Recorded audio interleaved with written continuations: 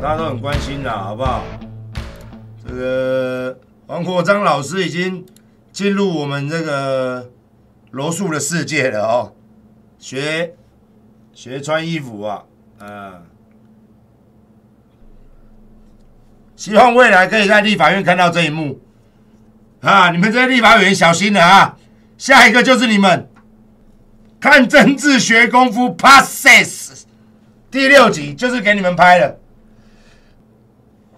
看老师这副狰狞的表情，看老师这狰狞的表情没有？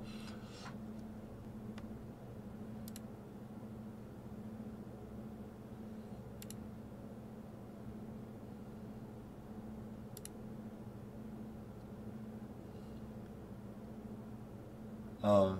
上课喽！上课喽！深蹲救台湾喽！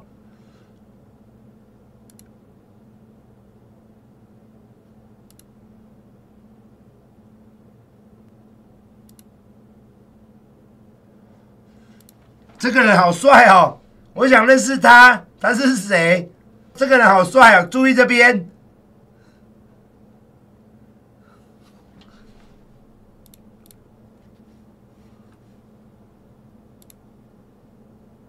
在做那个体能、那个柔软度测试啊，活动度测试，肩胛活动度。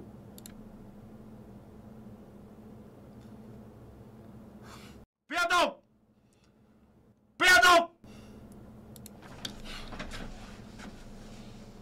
不要动！说，橘子到底在哪里？哒啦哒啦啦。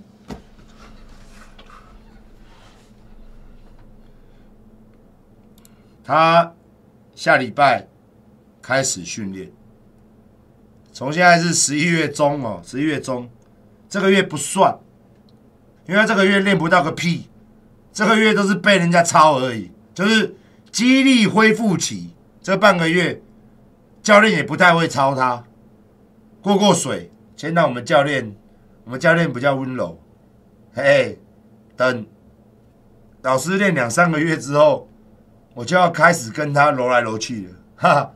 到时候各位也许会看到一些一些短片哦，对之类的，对对对对对对对，大家想看嘛？民进党的各位，你们小心来着了！民进党的各位，未来立法院再过几个月，麻烦您各位离黄国昌远一点，看到他没有？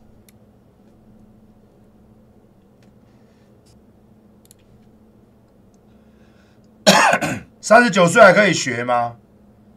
黄国昌五十岁，我还要带他去比赛。没有不能练的，只有不想练。越早学是越厉害了，因为你身体会变成柔术的形状。啊，像我们这种老人家筋骨就硬，我们就很多招式没有办法做。